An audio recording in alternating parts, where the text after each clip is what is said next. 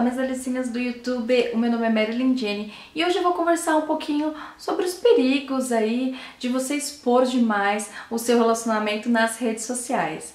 Ficou curioso para saber como vai ser este vídeo? Então Bora comigo que eu vou mostrar. E antes de eu continuar, se você curtiu esse vídeo, não se esqueça de dar um gostei pra mim aqui embaixo. É muito importante isso para o meu trabalho aqui no YouTube.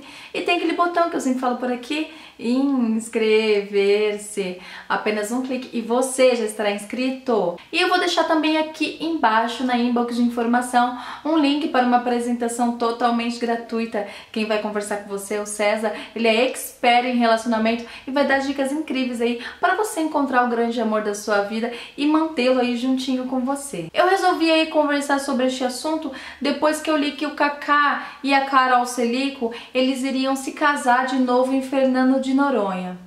Só que dias após eles anunciaram o término do relacionamento deles e anunciaram o divórcio.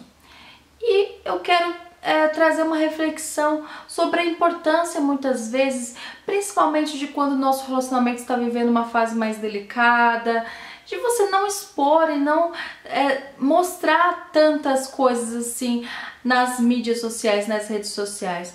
Porque depois, quanto mais as pessoas sabem sobre a sua vida, mais elas vão querer saber e mais elas vão querer cobrar também e muitas vezes você está numa situação delicada, está sofrendo e vai ter que ficar respondendo perguntas de por que aconteceu, por que separou, por que tá assim, tá assado. Então, a dica que eu dou é quando você briga, quando você discute, você não fica dando indiretas nas redes sociais, ou não fica demonstrando os seus sentimentos nas redes sociais. O melhor lugar para você conversar sobre os seus problemas sempre foi e sempre vai ser com um terapeuta.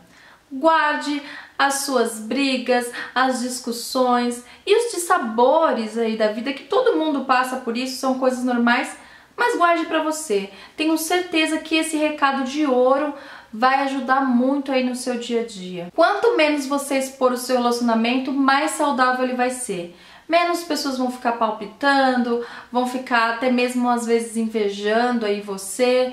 Enfim, vai ser muito melhor, eu tenho certeza disso. Compartilhe esse vídeo com outras pessoas, eu tenho certeza que tem muita gente que merece ouvir o que eu falei aqui neste vídeo, porque o que eu vejo de gente compartilhando aí, escrevendo pelo Facebook, pelas mídias sociais, olha, é bem complicado, viu? Um beijão pra você, mas um beijão bem grande no seu coração. Fique na paz e até a próxima! Tchau! Olá, minhas delicinhas do YouTube! O meu nome é Marilyn Jenny e hoje eu vou dar dicas incríveis aí de como você beijar, mas um beijo maravilhoso de língua. Ficou curioso para saber como vai ser este vídeo? Então, bora comigo que eu vou mostrar!